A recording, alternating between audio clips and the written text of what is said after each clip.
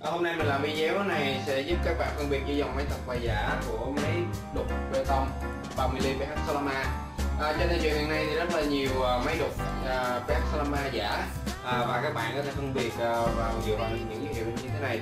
À, Đầu tiên đó là về cái vỏ của của máy vỏ của máy quay máy thật sẽ được làm bằng à, nhựa cao cấp còn máy giả sẽ được làm bằng kim loại rất là yếu. À, và thứ hai là về phụ kiện của nó. À, bình à, máy thật sẽ có một bình dầu sẽ có dầu trong đó bình máy giả thì chỉ có bình dầu thôi.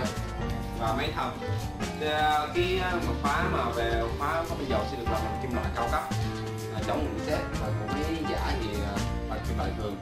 Sẽ được nó sẽ bị nhận xét rất nhanh. Và thứ hai đây là về mũi đục mũi đục của máy thật và mũi đục của giả các bạn có thể phân biệt được mà. Máy thật thì cái đường à, nhà sản xuất chế tạo của đục rất là chắc chắn rất là nặng tay và cái kỹ xảo rất là đẹp. Còn của máy giả thì nhìn rất là xấu rất là yếu khi bỏ ngoài bảo vệ rất là dương bẩn và và vâng, à, và tiếp theo là về máy đục. À, các bạn lưu ý là máy đục này sẽ có Ờ, một cái logo của Hitachi được chụp nổi trên thân máy. Và máy này sẽ có một màu là màu xám bạc và khi và máy máy giả sẽ không có logo của Hitachi. Và cái màu của máy sẽ là màu xanh rêu. Nên rất là đẹp cho lắm và bây giờ máy thật, và sẽ được làm bằng à, chất liệu à, nhôm cao cấp dày chắc chắn với ba lớp cách điện. Nên tay cầm sẽ sẽ uh, sử dụng bằng chất liệu cao cấp như vậy nên sẽ được là cùng chất liệu. Còn máy giả thì cái vỏ nó rất là mỏng. Tay cầm uh, tay cầm và máy sẽ là uh, chất liệu khác nhau. Tay cầm được làm bằng nhựa thì máy này không có chức năng giống là uh, cách điện rất yếu nó không khi các bạn sử dụng. À, và tiếp theo là về cái tem. Các bạn lấy là về mấy tem của máy PH Solama chính hãng thì chỉ có gồm à, logo thông số kỹ thuật tên máy số series và các bạn lưu ý là đây chỉ là made in Malaysia nha.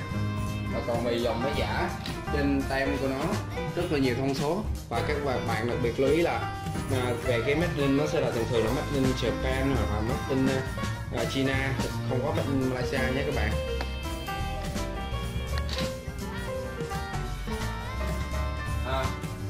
Các bạn nhìn đây đây là một dòng máy thật máy thật thì cái à, nhà sản xuất lắp ráp rất là chắc chắn rất là kỹ nên cái các đường à, của các máy được à, siết lại với nhau rất là chặt.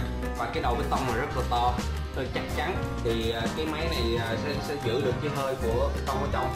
Sẽ giữ được cái bê tông này sử dụng rất lâu dài. Rồi bạn nhìn về cái máy giả như thế này các dòng máy giả thì các đường viền nó mà không được lắp ráp kỹ càng rất là nguy hiểm. Và cái đầu bê tông rất là uh, nhỏ.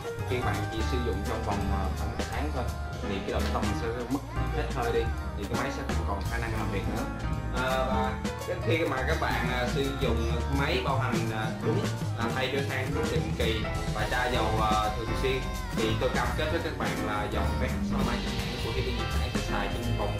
trên một năm thì máy vẫn sẽ sử dụng uh, bình thường. Uh, năng suất công việc uh, rất là cao. Còn dòng máy giả thì dù các bạn là bảo hành như thế nào đi nữa phải đưa than hay là tra dầu vào đầy đủ. Nhưng mà tôi cam kết với các bạn là máy này